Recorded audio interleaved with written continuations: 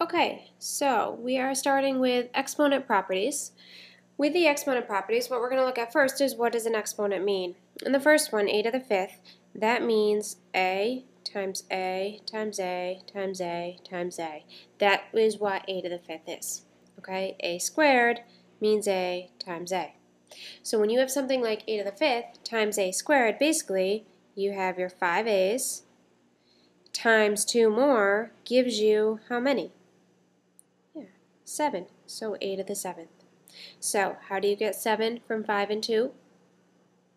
We add them. So your rule over here, a to the x times a to the y, equals a to the x plus y. You add those exponents. Okay? Now, the things to remember, it has to be the same base. See how those are both a's? If it was, say, 2 to the x times 3 to the y, you could not combine them okay? So they have to be the same. So with our examples, in the first one, x cubed times x times x to the fifth. Well, you have 3 times 1 times 5. So now how many do we have? 3 plus 1 plus 5 gives you x to the ninth. Okay, with a 1 on the bottom. Like I said, you can only combine like x to the fourth and x squared. So with 4 x's and 2 more, that gives us x to the 6th. Okay? And then y times y to the 5th is y to the 6th. So it's because it's 1 plus 5 gives you 6. Okay? Next example, we have some coefficients in there. You don't add the coefficients. You multiply them just like normal. You have 2 times 4 is 8. Now, when you have x times x cubed, that's 1 plus 3 gives you x to the fourth. And really, if you have to write it out, you have 1x, and then you're multiplying it by 3 more, so when you multiply those, you now have x to the fourth. Write them out each time. It's perfectly fine. Okay? The next one, you have a coefficient of 3, and it's 3 times, basically, this is a coefficient of 1, and this is a coefficient times 1 of 1. So 3 times 1 times 1 is still 3. And then you have a times a to the fifth. And then times a squared, say times a. So now that's 5, 6, 7, 8. So a to the eighth. Okay. Hopefully that makes sense. Pretty straightforward. Okay. So go ahead and pause and skip down to the, go to the U tries, and then we'll pick up again at slide 3.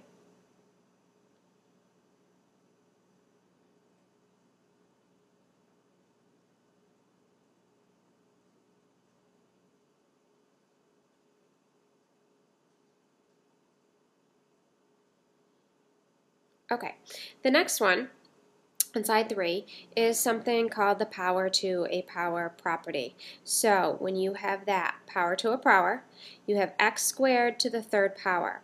Well, think about that. That is x squared now to the third power. And when you have x squared times x squared times x squared, that's basically x times x times x times x times x times x, giving you how many? 6. And how could you get 6 from x squared to the third? 2 times 3. Okay, so when you have x to the a to the b, it's x to the a times b. You multiply them. So power to a power, you multiply. In the example is x to the 6 all to the fourth. 6 times 4 gives you x to the 24th. Okay with the next one, x cubed to the fourth power. Here you're going to multiply. 3 times 4 is x to the 12th. And then the next one, x squared all to the fifth. That's power to a power. 2 times 5 is x to the 10th. And now, because you're multiplying straight across, this is like the last one, the, the rule where we add them. x to the 12th times x to the 10th. You do 12 plus 10 gives you x to the 22nd.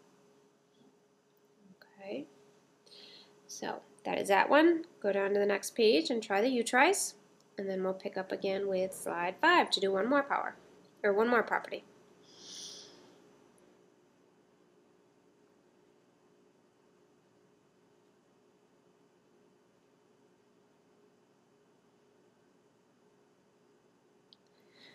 Okay, the power of a product property. Now this one, you have a product, a times b, and then to a power. So looking at this one where it's ab, I'm going to look at this one first. a times b all to the third power. That means you have ab times ab times ab. And so really, a times a times a is a to the third. b times b times b is b to the third. And you cannot combine those.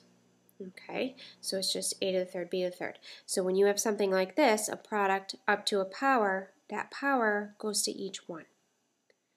Okay, so your rule, back up at the top, that power has to go to the each one. So it's going to be a to the n and b to the n.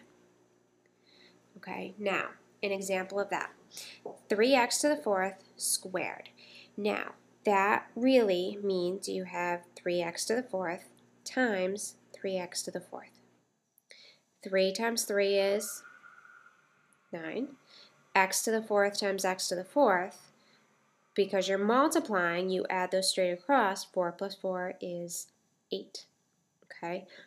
Now, another way to look at that is this power goes to each one. You have 3 squared, and then you have x to the fourth squared. Okay?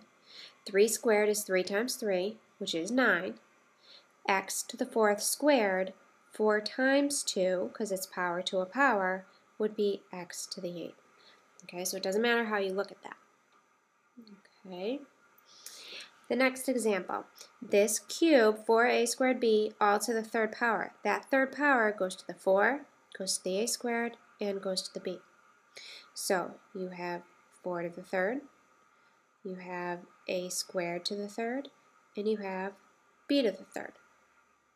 4 to the third, 4 times 4 times 4 is 64.